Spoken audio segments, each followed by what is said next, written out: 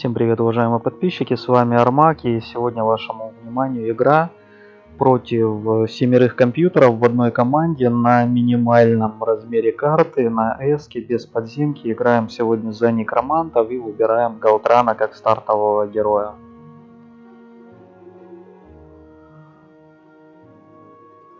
Вообще, конечно, в идеале надо играть против 8 компьютеров на немножко больших командах, там будет сложнее играть. Ну, для, скажем так, динамичности выберем вот такой вот минимальный. И сразу же на Галтране мчим с вами вперед. Я специально отключил плагин Have Rules, который накладывает ряд ограничений и дает дополнительные 2500 на старте. Будем играть как положено без всех вот этих вот э, дополнительных бонусов, как бы оно было на оригинале. Поэтому сейчас сразу же пробиваем охрану и будем разбегаться в разные стороны, чтобы попытаться выбить всех соседних компьютеров как можно скорее. Ресурсов здесь очень мало. Каждая шахта здесь играет очень и очень важную роль. И сразу же соседний компьютер, который мы находим, это как раз синего цвета игрок. И он играет за оплот. Попробуем с вами его сразу же выбить еще до того момента, пока он сможет позволить себе скупаться или заниматься чем-то подобным. За некромантов в подобных форматах игры играть, э, наверное, проще всего, поскольку здесь армии жутко не хватает на проведение боев, особенно начиная со второго дня. А у них армия, пускай даже в виде скелетов, она растет после каждого боя хоть немножечко, и это хоть как-то компенсирует те потери, которые вы постоянно будете получать. Ну вот на всех парах, в общем-то, мчим с вами. Также большой проблемой здесь является то, что появляются багнутые проходы, вот, прибили уже одного компьютера. Итого у нас с первого дня несколько замков. Мы зашли сразу же внутрь замка и решили заночевать в нем же. Пока появления других компьютеров мы не увидели, продолжаем двигаться ниже. И к нашему счастью мы находим коричневого компьютера. И причем это родной для нас замок что не может не радовать. С двумя родными замками явно будет играть нам попроще.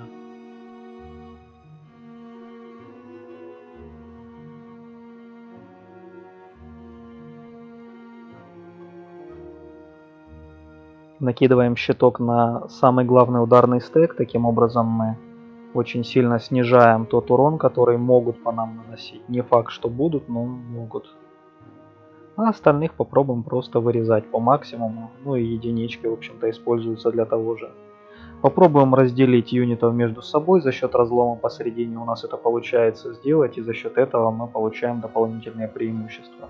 Вот сейчас удалось заэкспертить некромантию. И после этой самой экспертной некромантии дальше бои должно стать проводить попроще. Отжимаем замок и сразу же пытаемся убить Кси находящегося рядом. Будем надеяться, что это последний компьютерный герой, который здесь есть. И мы с вами не будем терять ближайшие замки один за другим в случае чего. Еще очень хороший навык для вот таких вот мелких карт это логистика, за счет которого вы можете пробегать на очень длинные расстояния и очень быстро минусовать там по 2-3 компьютерных игрока за каждый ход, в случае чего, не давая им возможности как-то развиваться, ну и плюс даст вам возможность более быстро побеждать. Но от того, какая вам зашла стартовая армия и вашим соперникам, и какие охраны стоят, там стрелковые, не стрелковые, от этого тоже очень многое, в общем-то, зависит.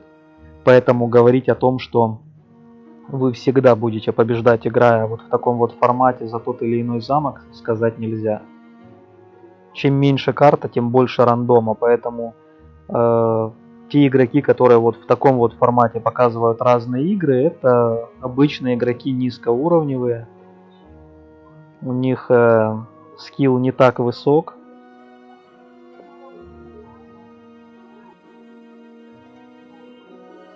Обычно как раз именно такие рандомные форматы, где все может решать чисто ситуация и используется слабыми игроками для того, чтобы показать, вот смотрите, какой я сильный. Если же вы посмотрите, как подобные игроки будут в таком формате каждую игру стримить, то вы посмотрите, сколько реально будет э, поражений перед э, тем, как будут возникать конкретные победы.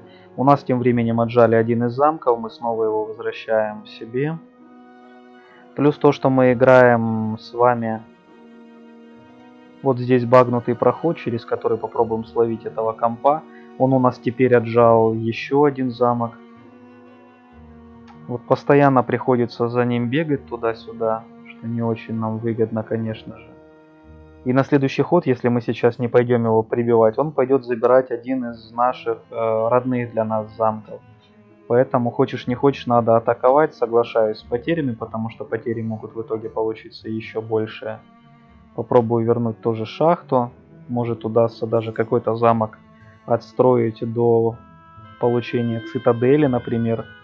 За счет усиления и отстройки цитадели и замков можно усилить тот или иной замок, хотя бы чтобы вражеские слабые герои не захватывали ваши замки. И скупаюсь в Оплотовском замке, чтобы получить хоть каких-то стрелков себе. Зеленый компьютер вроде как зажат, там у него стрелковая охрана и вероятность того, что он будет оттуда выходить и как-то нам пытаться угрожать, она довольно небольшая. Тем временем оставляю хоть какую-то защиту. И как назло, зеленый компьютер все-таки выходит. Тут мы прогоняем фиолетового компьютера, начинаются нашествия с разных сторон, и мне приходится по всей карте бегать туда-сюда, для того, чтобы героев прогонять постоянно. Но прогонять их надо, потому что терять замки это очень невыгодно с тактической точки зрения.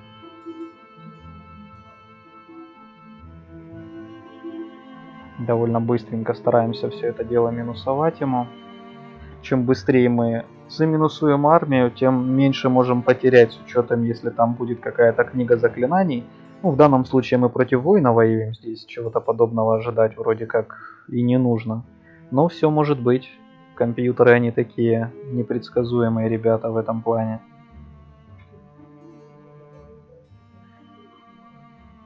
Все, сбежали, отжали шахту. Ну и теперь надо идти и вообще добивать до конца этого зеленого компа.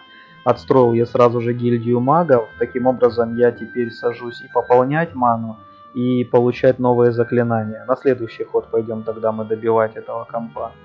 И заодно построил я цитадель, чтобы максимально усилить тот центральный замок, чтобы его не захватывали. Вот нападает один из героев вражеских в надежде отжать этот замок. И судя по всему, я ему подарю эту цитадель. Но с другой стороны, он хоть армию какую-то потеряет, что не может не радовать.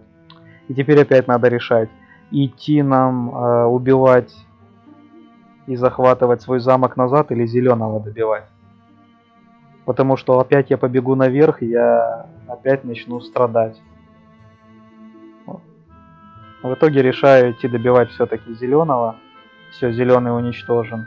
И через проход наверх можно сэкономить и попробовать пойти пробить все-таки охрану и вернуть свой замок побыстрее. Но я нет, решаю со стороны оплота зайти. И вот через багнутый проход в который раз выбегаю. Все, опять они занимают замок. И в цитадельке, конечно, мне придется больше потерпеть, больше потерять армии в случае чего. В общем, решаю, что смогу подраться лучше, чем мне предложила быстрая битва. Так ли это, сейчас с вами посмотрим уже после проведения боя. Дело в том, что для данного замка, как башня, вот эти вот маги отстроенные, конечно, это сильно жестоко. Она, даже наличие одного мага в армии, оно удешевляет ту магию, которую будет кастовать этот герой. И за счет магии на вот таких вот э, мелких картах можно очень сильно получить те или иные преимущества в бою. как по мне, вот игра через магов, она может быть даже предпочтительней здесь в разы, чем игра через воинов. Главное, чтобы охраны были посильнее. А я, по-моему, охраны ставил слабые или средние. Ну, в общем, для того, чтобы и компьютеру тоже было проще ко мне пробиваться, и игра стала еще более сложной.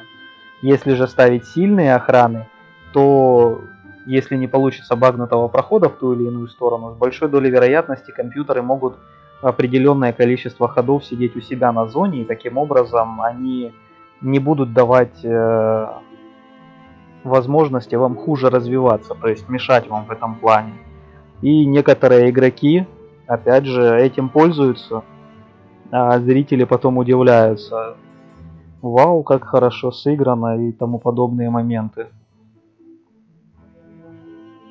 Тем временем я отстраиваю вампиров и остаюсь на разгоне. И приходят нас атаковать. Это уже болотный оранжевый компьютер, которого тоже сейчас попробуем сначала отбиться, а потом надо будет бежать и пытаться дожимать. Вот в таком формате, когда на вас нападает тот или иной компьютер и вы отбиваете его атаку, нужно стараться именно найти его замок в первую очередь и отжать. Потому что когда вы лишаете его армии, то взять дополнительную армию на мелких шаблонах очень проблематично, потому что ее и так мало. И компьютер, которого атаку вы отбили, он является очень и очень ослабленным. Нужно ловить момент и пользоваться подобными моментами, чтобы минимизировать. Вот логистика зашла, вот то, о чем я вам говорил. С логистикой мне будет проще по-быстрому все решать. И посмотрите, какие штурмы начинаются. Уже второй герой за один ход ловит меня внутри замка и пытается здесь же добить. Нас спасает во многом то, что мы как раз являемся некромантами, и они, конечно, очень сильно нашу армию выбивают, но в то же время мы с вами и часть потерянной с его стороны армии тоже призываем в виде скелетов свою армию после боя. А так, конечно, играя за другой замок, они могли меня вот этими вот постоянными штурмами просто присадить и не дать мне нормально развиваться в этом плане. Вот такие дела, ребят. Ну вот, отбились более-менее. Начинается уже третья неделя. Мы контролируем с вами 4 замка. То есть, грубо говоря, центр и запад мы в основном контролируем. Еще сверху надо там замки будет поминусовать как-то. Вот думаю, брать или не брать вампиров, насколько в этом есть смысл. В общем, решаю брать, тряпок оставляю на защите замка. Добавляю немножечко скелетов в дополнение ко всему. Ну а с остальной армией поедем, в общем-то, дожимать соседей у оранжевого компьютера вообще замок оказался пустой. И мы таким образом с вами получили себе дополнительные войска в армию. И можно попробовать фиолетового компа прогнать отсюда. А, я решаю просто отсидеться в замке, даже так. Тогда получается на разгончике. Тем временем фиолетовый компьютер идет пытаться отжимать замок соседнего компьютера, который мы отжали себе, а мы в свою очередь не даем ему это сделать, и он данного героя своего потратил, ну, можно сказать, что даже впустую, с большой долей вероятности. Докупаем себе еще вампиров, еще больше скелетов. Ну и пришло время выбирать, какого еще компьютера мы с вами пойдем дожимать в ближайшее время. Пойдем дожимать вот этого вот голубого, наверное поскольку он нам уже вредил. Стрелочкой минусуем, чтобы это произошло побыстрее. Подставляем единички, сами прячемся. А нам кентавров стараются минусовать. Но кентавры нам по большей части для разгона нужны. Все, минусанули мы еще одного компьютера. Башня нам засвечивает большую часть карты. И мы теперь с вами имеем представление, откуда можно будет следующих атак ожидать. Вот опять же есть еще один багнутый проход, можно вот с соседнего компьютера попробовать прижучить. Нужно какую-то защиту оставить, хоть минимальную, поэтому я покупаю магов. По охране я оставляю единички, как обычно, а магов беру себе. Теперь у меня заклинания будут даже во время боя дешевле стоить. И оранжевый компьютер появляется. Ну, я решаю построить там цитадель или замок, да, для усиления самого замка. И иду уничтожать розового компьютера. Он тоже в данный момент уничтожен.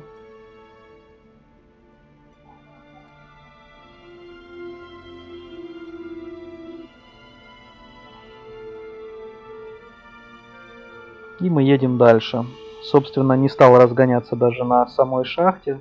Оранжевый компьютер не стал даже идти пытаться нас дожать окончательно. Ну и я решаю идти отжать очередной замок. Это уже данж, то есть темница. С ним тоже у нас не должно возникнуть каких-то серьезных проблем. Моралька зашла, из-за этого мы потеряем скелетов больше, чем должны были изначально. Ну, ничего страшного все равно некрение, оно нам больше плюс работает. Мы с вами еще словили момент, когда один из героев выехал из замка, и по сути армии внутри не осталось как таковой. Будем в этом же замке с вами и ночевать. Удваиваем ману сразу же. И с большим количеством маны, дешевой, э, магии, которая есть в наличии, здесь уже шансы на победу, они очень и очень высоки. Здесь вопрос только, насколько быстро нам удастся закончить игру в целом. Покупаю дополнительного героя. И этим героем иду минусовать оранжевого компьютера. Все, оранжевый компьютер тоже стерт с лица. Остается еще герой фиолетового компа. Тоже желательно его атаковать. Я вот думаю использовать, может, кого-то другого. Или все-таки Галтраном? Галтраном все-таки еду. Отказываюсь от тех потерь, которые мне предложили. Поскольку быстрая битва, она не использует магию, насколько я знаю. И вам необходимо, чтобы минимизировать потери, все-таки передраться для того, чтобы за счет магии потерять поменьше армии. Тем более магия полезная у меня есть. То если бы не было полезной какой-то магии и достаточное количество маны, тогда можно было бы даже соглашаться. Вообще с опытом вам приходит момент, когда вы понимаете, можете вы лучше подраться или нет, в зависимости от того, э, какую армию вы пробиваете, какую армию имеете. Э, плюс нужно делать поправки на возможные морали и сколько их может быть потому что вам может показаться, что вы реально потеряете в разы меньше, а потом окажется, что там-то было там, 2-3 морали, и вы подрались гораздо хуже, чем вам предложили изначально. Бывает и такое, на 100% предположить такие моменты нельзя, лишь примерно. Так что там уже все будет зависеть именно от вас.